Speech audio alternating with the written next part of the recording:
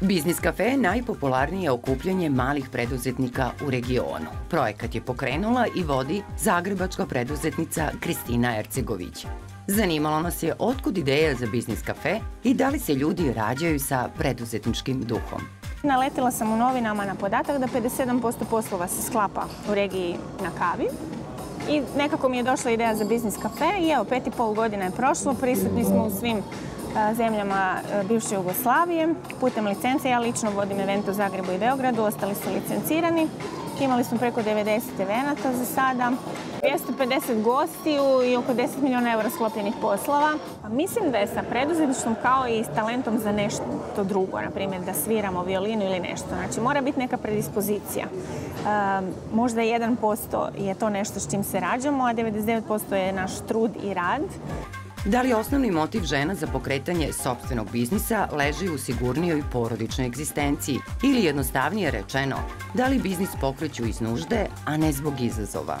Pa izgleda po istraživanjima da za sada još uvijek više kreću iz neke nužde možda u situaciji 30 i nešto godina kad su možda bile na porodiljnom dopustu pa su se vratile u firmu, nije ih dočekao posao koji su prije imale ili su doživjeli neku vrstu diskriminacije pa se nekako odlučuju krenuti ili su to te godine kad počnu razmišljati da život ide i da možda neki san koji su imali dok su bile mlađe je vrijeme sad da se ispuni.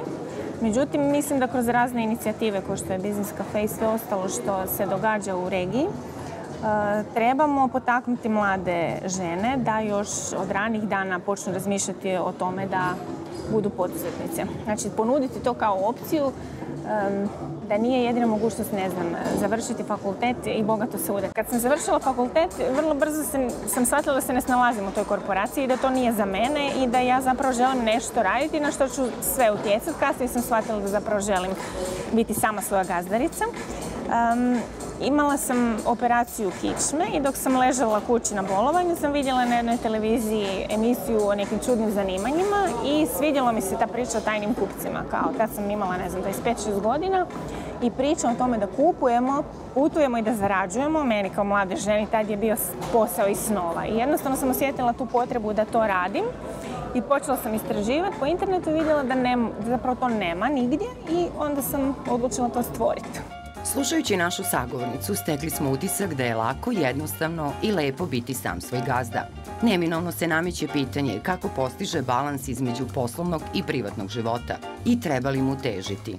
Uvijek se žene postavljaju takvo pitanje, kako one to balansiraju. Nijednog muškarca to ne pitamo, to je ono još uvijek jedna tema koju mislim moramo svjesno raditi na tome da to maknemo, a drugo i puno važnije je ovo što ste me pitali. Mislim da je balans mit, znači balans između privatnog i poslovnog je mit. Zašto to mislim? Balans bi značilo da recimo ako imamo, ne znam, četiri područja života, da svakom pridajemo jednaku pozornost. Svemu po 25%. Ali nama nije jednako važno nešto u svakom trenutku. Znači kad smo bolesni, zdravlje nam je 100% važno. Kad rodimo dijete, to dijete zahtjeva 100% naše pažnje.